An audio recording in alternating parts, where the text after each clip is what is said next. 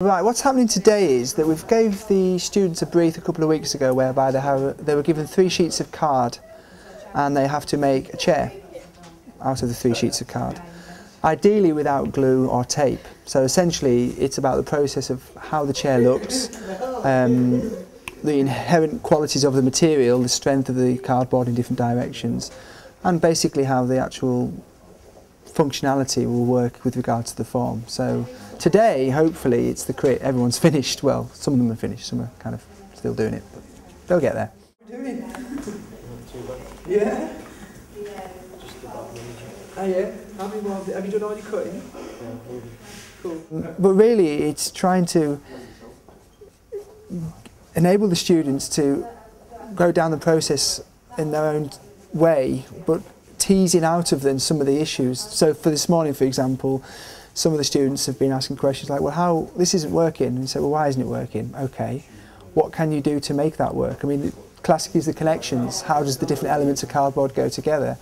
Um, I know from experience that that's going to work and that's not, but it's kind of have to tread a fine line between not, you don't want to give them the answer, you want them to find that out for themselves.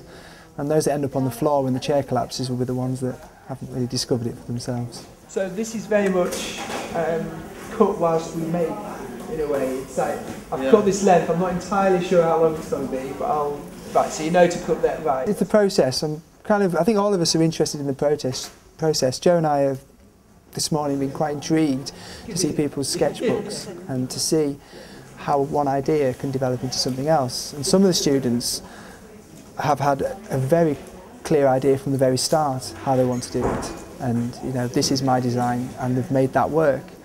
And in a way, that's that's quite kind of dogmatic. I am doing this, and it's and other students have been very trying out different ideas, and they're still trying out different ideas.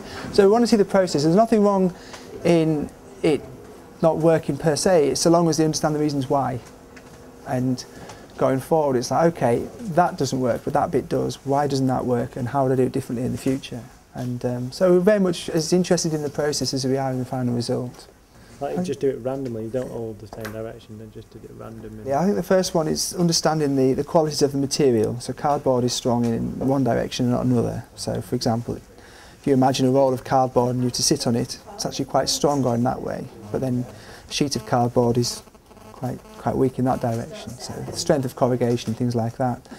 Um, model making skills, so each of the students will have to have understood the, um, the notion of scale. So they'd be setting out how they're going to build the chair in small scale in model and then um, creating the models at scale before they actually go and make the final cut, if you like, with the big sheet of cardboard. So that basically model making skills, scale, um, functionality and appreciation for um, measurements, the measurements of them and the relationship of that with the actual final design and form of the chair. So what's, what, what are the implications if he takes out the square, if he cuts a hole in it there? You can put your feet in it. So. You can put your feet in it there. But you wouldn't be able to put your feet in there because of that, right? Unless well. you sat on it there and put your feet there, like a little footrest. Well, this is a microcosm for something that gets bigger, isn't it? You know, start small and get, get bigger because all the inherent qualities of what you need to do as an architect. You know, understand a brief, understand the requirements um, of the final form are in here, albeit on a smaller scale. So, yeah. So hopefully the next one will be a slightly bigger building. I think. No, I'm not going to say that. I'll see what it's a crit, eh? How's that? It's a first year course, first week of a first year course. So I, it's pretty intense architecture. You just get in and get on with it, but it's something that you love. You know, either love or you don't love it, and you know. And, these guys will um, hopefully, as the course progresses, they'll they'll be developing all kinds of different skills, and yeah, in at the deep end.